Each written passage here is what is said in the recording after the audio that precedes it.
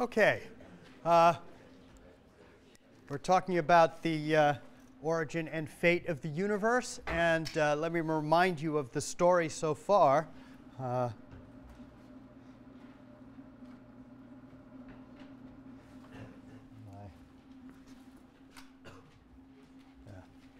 um, and there are basically two sets of observations that are important here. One is uh, the existence of the Hubble diagram uh, and Hubble's law, which is the observational relationship between distance and velocity for galaxies. Uh, and this leads you to the idea of a universal expansion.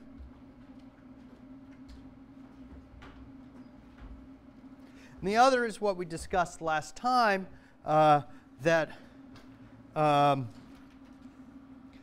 if you look back into the past, if you observe uh, with uh, a large, at a large distance, that is to say a large look back time, uh, what you discover is uh, that things were different in the past. That the universe as a whole uh, looked somewhat uh, somewhat different, and in particular uh, was uh, significantly denser, which is exactly what you would predict if uh, the universe was expanding. And these two things, these two observational facts put together, are really uh, what lead to the idea of a universe with a Big Bang cosmology. And this is great uh, because you can then uh, use this assumption that everything is governed by this scale factor of the universe, and the scale factor starts uh, either at zero or very close to zero and gets bigger with time. And you can use that concept to uh, do all sorts of wonderful things. You can describe the past. Uh, and in particular, uh, one of the things we did last time was to calculate the age of the universe from, from the observations of the Hubble constant. And you can predict the future.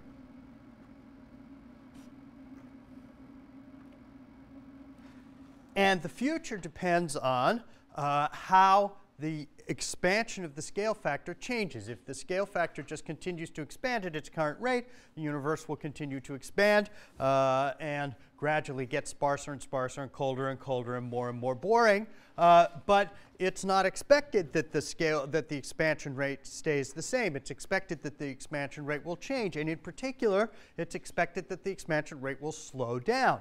Why? Because there's matter in the universe, and matter uh, exerts gravity, and gravity tends to pull things back together again. And so this is where we ended up uh, last time.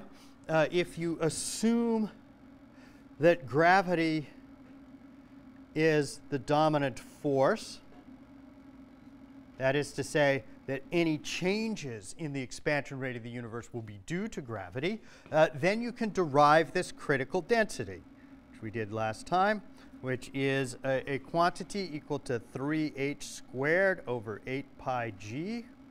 h you measure, the other things are just constants, and you can calculate uh, what this quantity is. Now, at this point, let me uh, write down a piece of astronomical jargon, uh, which I didn't do last time. Uh, it, the, dense, the actual density of the universe divided by this critical density uh, is given a letter of its own. This is, give, this is written down as a capital omega. So omega is uh, the true, uh, the actual density of the universe, whatever that turns out to be, divided by the critical density, and then you can describe the future of the universe depending on what omega is. If omega is greater than 1, that means that the density is greater than the critical density, uh, and this leads to recollapse and the big crunch. Whereas if omega is less than 1, uh, the universe expands forever.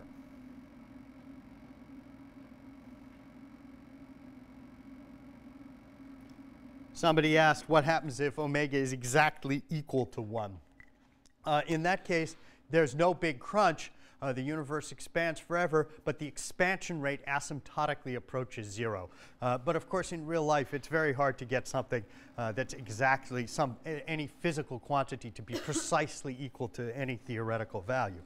Um, and so, with this in mind, uh, it then becomes very important to actually go out and measure the average density of the universe.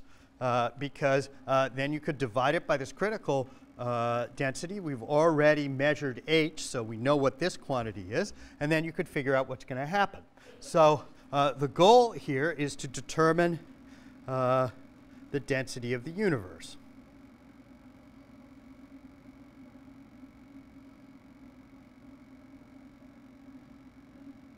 And conceptually, this isn't such a hard thing to do. You go out and measure the mass of everything you can see.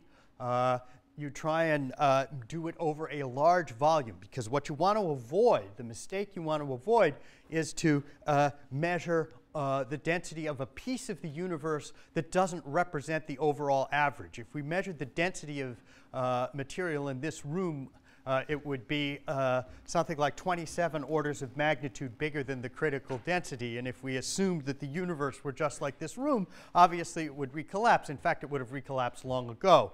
Uh, but uh, we don't do that because, of course, most of the universe is not like this room. Most of the universe is empty. So you say, well, we better include a lot of stars uh, and the empty spaces between them. But uh, even that's a mistake because you're measuring stars in our own galaxy. So you say, well, we better include lots of galaxies and the empty space, spaces between them.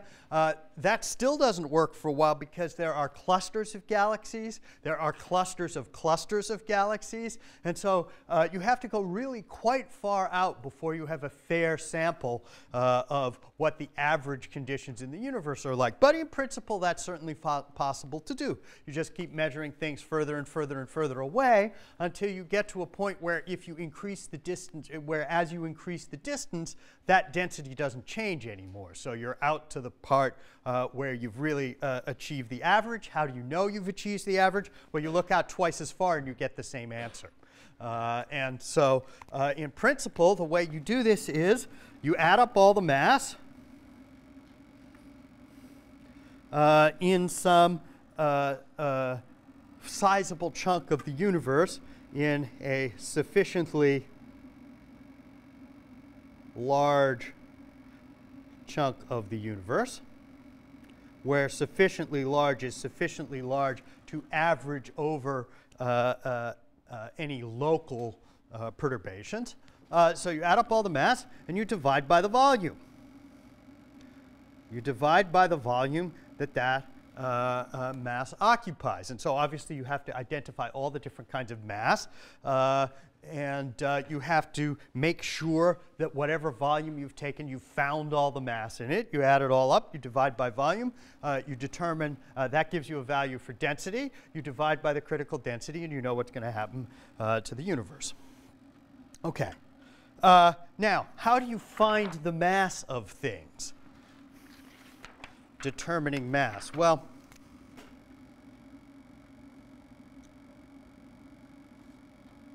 one way you can do it is you can just go out and uh, measure how bright. Yes, go ahead.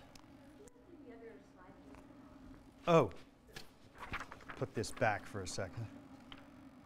Top part, bottom part, what do you? Yeah.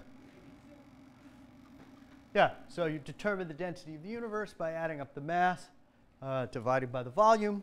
Uh, and then the question becomes how do you determine the mass? Uh, and uh, one way you can do it is you, uh, uh, you look at how bright things are. Add up the light you see. And then you assume some value for the amount of mass it takes to uh, create a certain amount of light. light. So that's assuming what's called a mass to light ratio.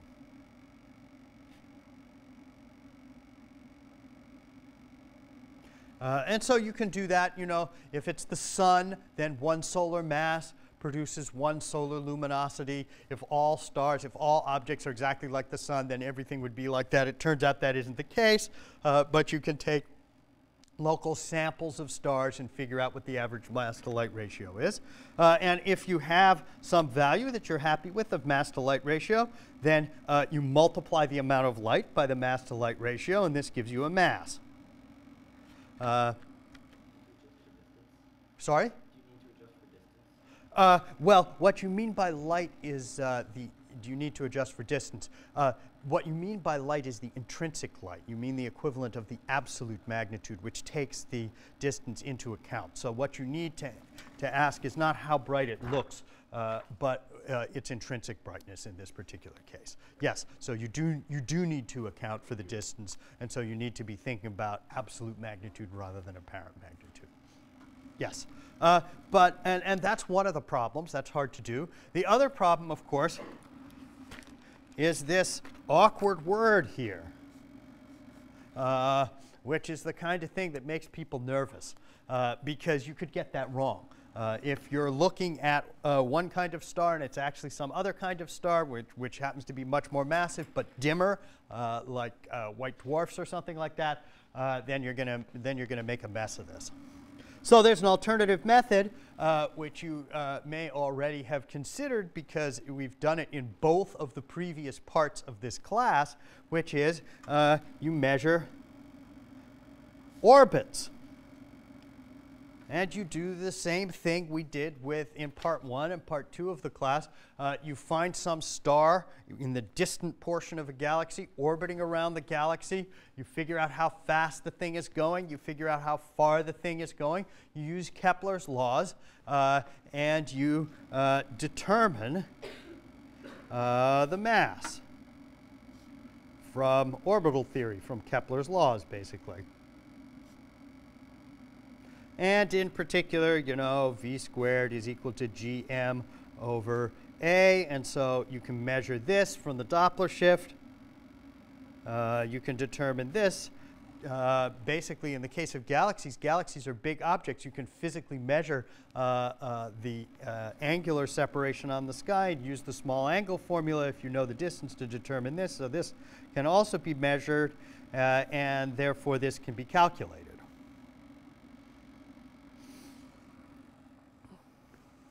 And so you go and do that for a whole bunch of galaxies.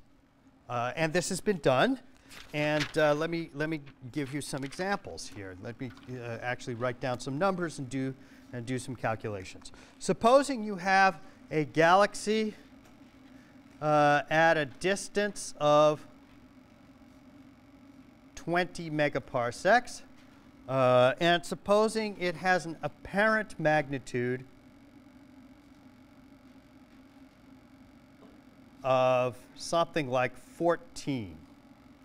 Uh, these are kind of typical numbers for uh, galaxies in uh, nearby galaxy clusters. In there's a particular, the nearest big galaxy cluster to, to us is a cluster in the constellation of Virgo, known as the Virgo cluster. If you want to know about the Virgo cluster, ask Hugh Crowl, who is devoting his life to the study of this object uh, and the galaxies within it. But these are sort of quasi-typical numbers, uh, uh, adjusted slightly because it's actually 17 megaparsecs, which is kind of a pain. All right, so uh, what do you know about the mass? What can you determine about the mass of such, an, such a galaxy? Well, oh, and let me warn you before we even begin that, of course, astronomers have played you a dirty trick, namely that the uh, symbol we use for magnitude is m. Uh, the symbol we use for mass is also m. Uh, so you've got to keep those clear in your mind. Uh, all right, so what do we know about this? We know uh, the relationship between apparent and absolute magnitude. And as I, I, said just a minute ago, it's the absolute magnitude that we need to know in order to uh, uh actually determine anything. m minus m is equal to 5 log d over 10 parsecs. So uh, let's figure out the right-hand side first. That's 5 log uh, 2 times 10 to the 7, that's 20 megaparsecs. 1 megaparsec 10 to the 6. Uh, over 10, uh, that's 5 log uh, 2 times 10 to the 6. Now, what do I do about that? Let's see. That's uh, 5 times log of 10 to the 6. That's pretty straightforward. Uh, plus uh, the log of 2. Because uh, uh, if you add logs, then you multiply the thing inside the parentheses. So log of 2 plus log of 10 to the 6 is equal to log of 2 times 10 to the 6. Log of 10 to the 6 is 6. Log of 2 is 0.3. It's just a useful number to know. Uh, the log of 2 is around 0.3. The log of 3 is around 0.5. The log of 5 is around 0.7. Uh, you could look it up. And so this is equal to 5 times 6.3. 5 times 6 is 30. 5 times 0.3 is 1.5. So this is 31.5. Uh, let me caution you at this point. Uh, so let me give you a little side note here. Uh, do not approximate magnitudes. Why not? I mean, we approximate everything else in this course. Magnitudes are a logarithmic quantity, right? Uh, and so you don't approximate magnitudes for the same reason uh, that you don't uh, uh, that you don't approximate the exponents. You can't say 10 to the 7 is equal to 10 to the 6. You can say 7 equals 6, but you can't say 10 to the 7 is equal to 10 to the 6 because uh, that's a factor of 10 difference, whereas the difference between 7 and 6 is, is just a little more than 10%. Similarly, this 0.3, uh, you would have been tempted to get rid of it right? Because uh, who cares about, a, uh, about the difference between 6 and 6.3? But in fact, it comes out of this log of 2. And so 0.3 in the log is actually a factor of 2. Uh, and so you gotta you gotta not approximate the exponents. This is important. Yes. Does this mean we should also try to be more precise uh, when we're dealing with magnitudes? Well, yes. That's saying. I, I, guess that's saying the same thing. Should you be more precise? That means you shouldn't approximate. Yeah. So I guess. Uh, uh, uh but. Um, uh, but it's, it's, it's for the same reason that you don't approximate the exponents. And it's also true that the numbers are easier to work with because it turns out that you add them rather than multiplying them most of the time, so it's not such a bad thing. Anyway, here we are at 31.5. Uh, so what do we got? We've got uh, m minus m is equal to 31.5. This m was stated in the problem to be 14. Uh, so 14 minus 31.5 equals m. Uh, so m is equal to minus 17 and a half.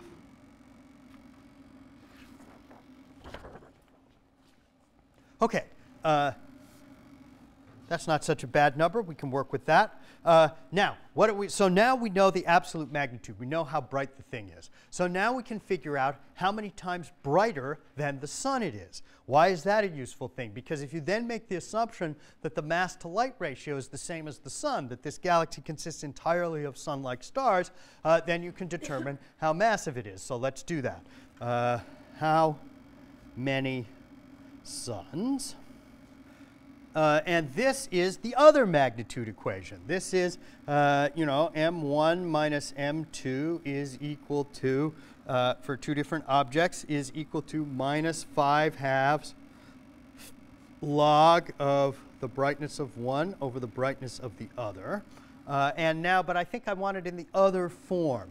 I think I want it in the form 10 to the minus 0.4 or 10 to the minus 2 fifths uh, m1 minus m2 is equal to uh, b1 over b2. This is the exact same equation as you'll recall, uh, uh, just uh, uh, having been getting rid of the log, taking, taking everything, putting it on, uh, to the 10 to the something power. the reason I want it in this form is that this is the answer I want. I want b1 over b2. I want 1 to be the galaxy. I want 2 to be the sun. So then I've got 10 to the minus 2 fifths, and then the galaxy is minus 17 and a half. That's the absolute magnitude. Uh, the sun is minus uh, the sun is 5, has an absolute magnitude of 5, and that's going to give me the brightness of the galaxy over the brightness of the sun. Uh, that's 10 to the minus 2 fifths of 22 and a half. Uh, let's see, the minuses cancel out, so that's a plus actually. 2 fifths times 22 and a half. Well, let's see. 2 times 22 and a half is 45. A fifth of 45 is 9.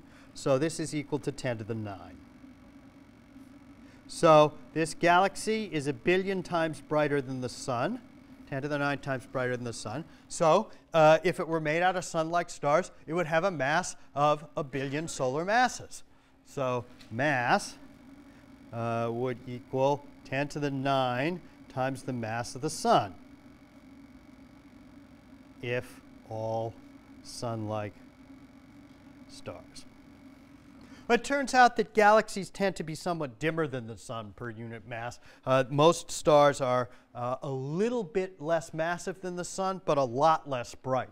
Uh, this is just the way stars turn out to be. Uh, and so typical mass to light ratios of, of populations of stars tend to be on the order of 10 or something like that times the sun. So uh, probably it needs to be more massive because typical stars are fainter than the sun. Typically, stars are fainter. Uh, so you could guess and say mass maybe should be, I don't know, 10 times greater than that, 10 to the 10 solar masses. And you can see why this uh, particular line of reasoning uh, starts to get pretty dubious because that I, I, I picked this number completely out of the air. Uh, there's actually some modest basis for it, but you could pick other numbers. Uh, you could argue about this endlessly, uh, and you wouldn't get very far. Why should it be 10 times the sun? Maybe it's 100, maybe it's 1,000, maybe it's less than the sun. Uh, how would you really know? Uh, and so let's go back and do the other approach, namely uh, figure out its mass from orbits of things around it. So let's look at, supposing it's an edge-on galaxy. Here's the center of the galaxy. Uh, or, and uh, actually, let's look at it from the top. So here's a nice spiral galaxy of some kind. Here's the center of the spiral galaxy. Here's some star way out on the edge. Uh, that star is moving around the center of the galaxy. It has to be, or it's going to fall in. So it's orbiting around the center of the galaxy, presumably in some circular orbit. You're down here looking at this thing. And of course, you can measure the velocity of that star by the Doppler shift because it's moving away from you. Uh, and so one can measure this velocity. Uh, you can measure this distance. Uh, that would be uh, the equivalent of a in our formulas because it's the distance between the orbiting object and the center. Uh, stars are much less massive than galaxies, so we don't have to worry about the motion of the galaxy. And you can use a familiar equation, namely uh, v squared equals gm over a. So now let's give this some numbers. Uh, typical velocities of things orbiting around uh, the galaxy turn out to be something like 200 kilometers a second or 2 times 10 to the 5 meters per second. Uh, and uh, the size of a typical galaxy, you know, out to where it stops being easy to see stars is, uh, oh, I don't know, what number did I take here? Uh, yeah, let's call it 20 kiloparsecs, which is 2 times 10 to the 4 uh, parsecs, and a parsec is 3 times 10 to the 16 meters. So this is 6 times 10 to the 20 meters. So now let's calculate m. m equals v squared a over g. Uh, 2 times 10 to the 5 squared, uh, 6 times 10 to the 20th, uh, over 7 times 10 to the minus 11. Get rid of those. Uh, let's see, that's 4 times 10 to the 30 over 10 to the minus 11. 4 times 10 to the 41. This is in kilograms. One solar mass, you recall, is 2 times 10 to the 30. So this mass in, in units of the sun, 4 times 10 to the 41 over 2 times 10 to the 30, which is something like 2 times 10 to the 11 solar masses. And now we have a problem. Right? You, you, you probably don't remember what the answer to the previous version of this problem was, where we did it with light. That came out to uh, a magnitude of uh, uh, the brightness was about 10 to the 9 times the sun. Maybe the mass is 10 to the 10 times the sun, but now we've just calculated it in this other more reliable way, and it's 2 times 10 to the 11. It's 20 times more massive than you thought it was going to be, given how bright, uh, uh, how bright the light from this thing was. Yes, question. This is the mass of the galaxy, yes. Um, now, before I go on, let me just point out those of you who have taken a look at the problem set, what I've just done here, this calculation I've just done, is problem one of the problem set, except done backwards. Uh, in, on the problem set, what I did is I told you what the, what the density was, what the critical density was, and then uh, uh, you had to derive characteristics of the galaxies from that. Here I've told you what the galaxies are like. Uh, we figured out uh, how big uh, how massive they are, uh, if we divide by the volume, uh, we'll get a density. So we're doing the same problem backwards. I should say the numbers I've chosen here are different. Uh, so you can't know the answer to the problem set by looking at the premises of, th- of these particular things. But the, uh, uh, what I'm doing is the exact same set of calculations, only done, done backwards. So that may or may not be helpful. But let's pause here for a moment because this is now, uh, we're now up to, we're making progress. Uh, we're now up to Frontiers and Controversies circa 1985.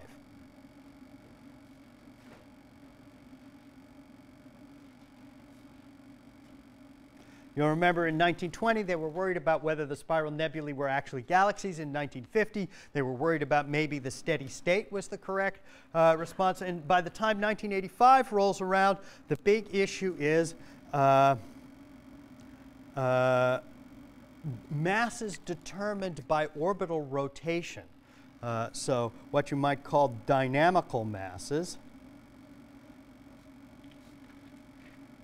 That is to say, determined by uh, orbits of things around galaxies, orbits around galaxies, and also, I should say, galaxy clusters. Uh, you can have galaxies orbiting around each other and, and galaxies uh, orbiting around whole clusters of galaxies, and the same thing is true. And uh, so, around galaxies and galaxy clusters uh, are much bigger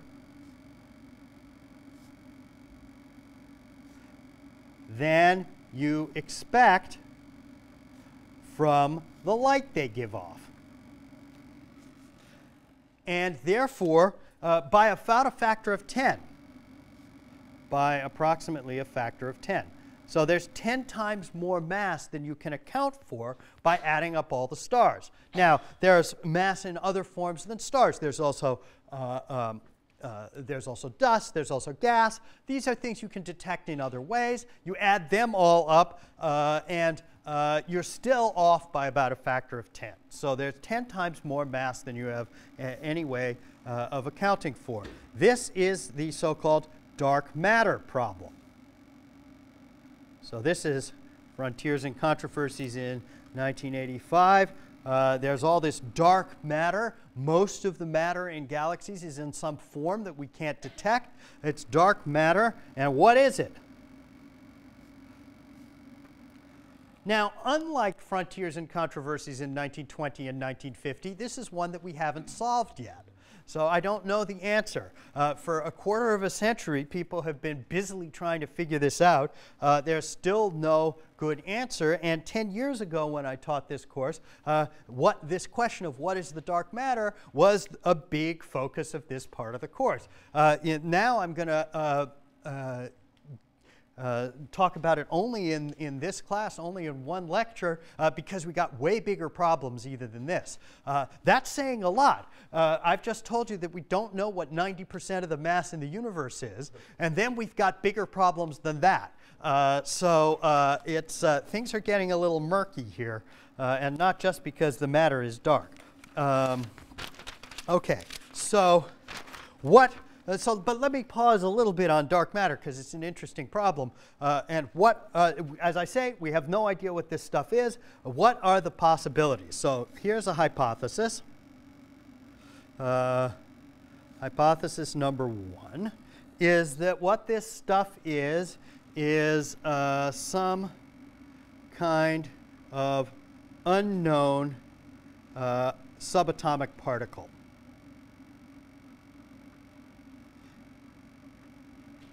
Uh, and it has to have two characteristics, this subatomic particle, for it to work out. It has to have mass. Uh, that's pretty basic. If you're using it to explain mass, you can't have photons, right? Photons don't carry any mass. Uh, it has to have mass, but it has to uh, not interact with light. No interaction with light. If it absorbs light, it would be opaque, and we would know it was there because galaxies behind this stuff would look dim. Uh, alternatively, if it gives off light, uh, then we'd see it. Uh, and so uh, it, it, has to not interact with light or interact with light only very weakly. Uh, and so these are given the name uh, generically weakly interactive, interactive, massive particles or WIMPs. So here's the hypothesis. The universe is 90% WIMPs. Um, this is not such a crazy idea as it, it, might at first seem. There are known subatomic particles that have these properties. There's something called the neutrino. There are trillions of them going through this room every second.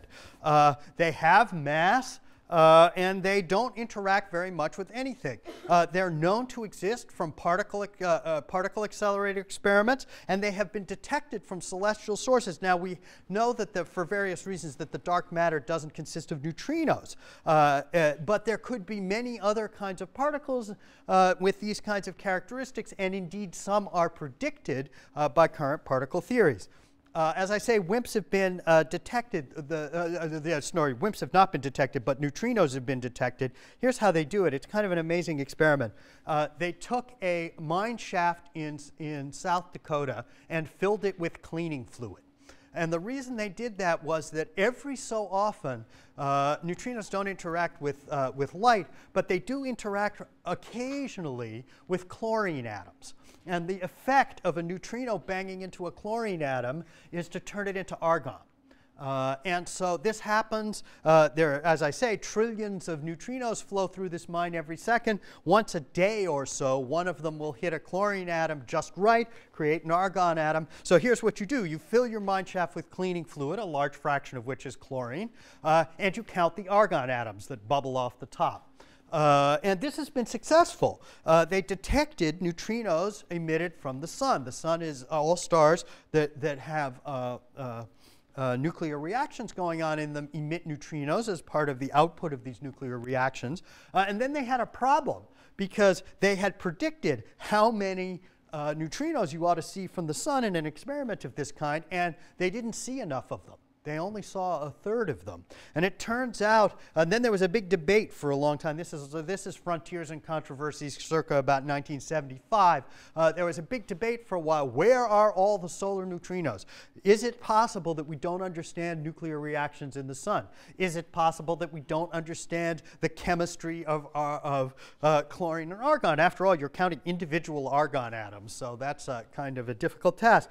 Uh, no, it turned out that what was going on was we didn't understand neutrinos. And it turns out there are three kinds of neutrinos, and neutrinos uh, switch back and forth between these different kinds, and you could only detect one kind by the chlorine, and so you only detect, and, and so they were all emitted from the sun as if they were the kind you could, uh, in the form that you would have been able to detect them, but as they traveled from the sun to us, uh, some fraction of them uh, flipped back and forth between all these other, other kinds, and you ended up only with about a third of them. So it was a big piece of particle physics that was discovered. Uh, we have also detected by now uh, neutrinos coming from supernova explosions. So uh, there are 20, uh, uh, 11 of them, I think, were detected all at once. And if you're detecting things sort of once per day, and then you suddenly detect 11 of them over the course of a few minutes, uh, you've seen something exciting occur. And that was uh, known, is now known to be this, this supernova explosion that occurred in a neighboring galaxy.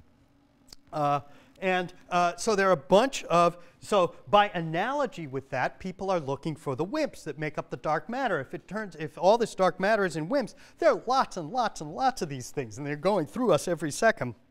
So there are a whole bunch of experiments with the same basic characteristics. You have a huge vat of something, and something is supposed to happen occasionally when one of these WIMPs hits whatever's in the vat. Uh, so the Japanese have uh, uh, sort of a cubic mile of distilled water and they're looking for little light flashes when the uh, neutrino runs into the water molecule. They, they, they busted all their detectors recently. They had a sort of earthquake, and it was bad for the little light detectors they had put on the inside of these things. Uh, but there are a lot of such uh, experiments. Dan McKinsey here in the physics department is a, is, is a big player in one of them. Uh, and the hope is that you will see the interaction between one of these WIMPs, of which there must be an incredibly large number, uh, with something. This has so far failed. Uh, so there is no direct evidence from WIMPs. Uh, the other hope, I should say, is that every time you build a bigger collider, you make new kinds of subatomic particles and that they'll eventually make something that looks like it could be a WIMP, and that hasn't uh, been happened either. Uh, so uh, no detections yet. No direct detections with considerable effort, you know, this is going to turn out to be 90% of the mass in the universe, so you would like to detect it because if you do, they'll give you a Nobel Prize. Uh, all right, that's one hypothesis. There's another hypothesis. So here's hypothesis number two.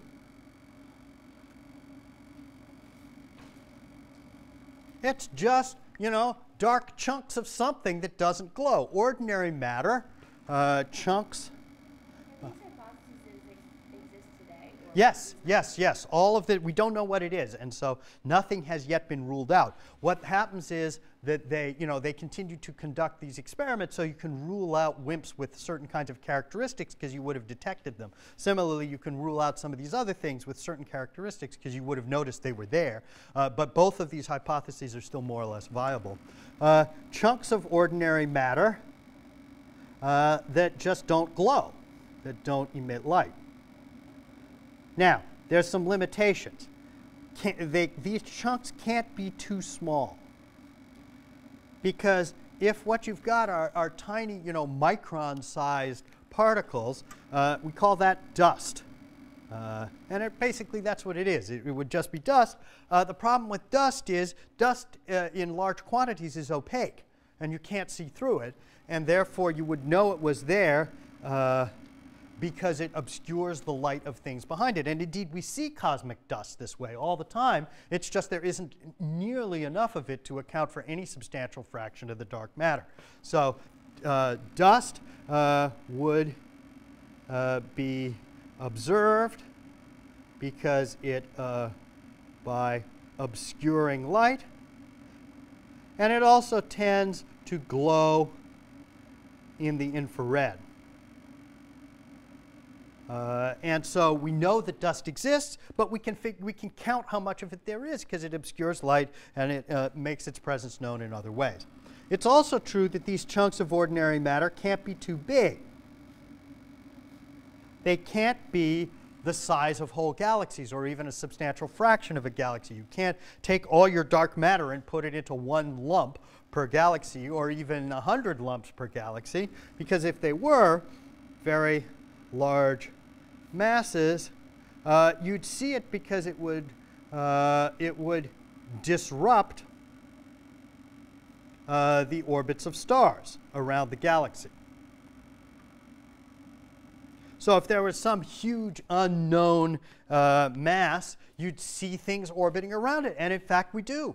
Uh, we see these supermassive black holes in the centers of galaxies, and we know they're there because we see stars orbiting around them, just like uh, the problem on, on, on the last midterm. Uh, and so it can't be too small, it can't be too big, uh, but you could perhaps have sort of a bunch of star massed.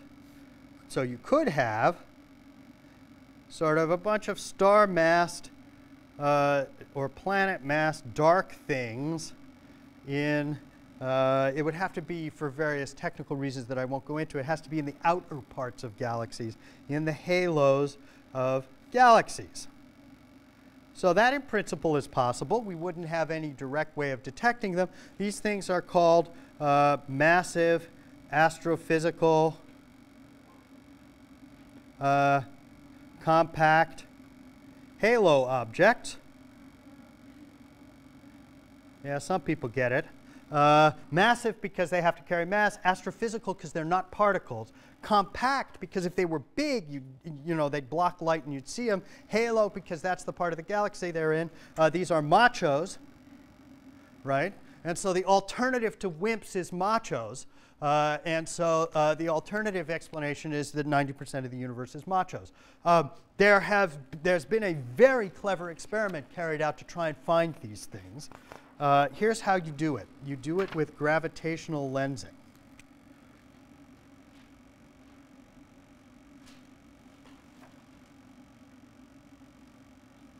Lensing macho searches.